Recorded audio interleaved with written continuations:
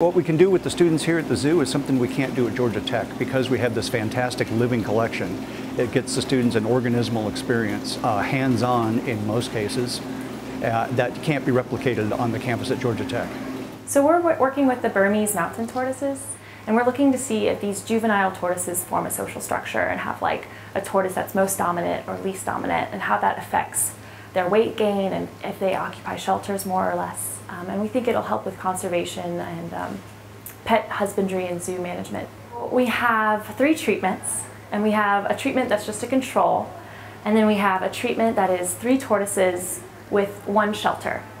So what we're expecting to see is that the most dominant tortoise, which is usually the heaviest, occupies that one shelter most often.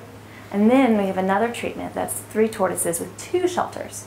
And this time we're expecting to see the tortoise that is least dominant be in the shelters the least. We have found what we were looking for in the three tortoise two shelter treatments. Um, the heavier tortoises occupy the shelters significantly more than the smaller tortoises. When I came to Georgia Tech, I actually didn't like ecology at all. I thought it was kind of wishy-washy. And then I had my first ecology class and I really liked it.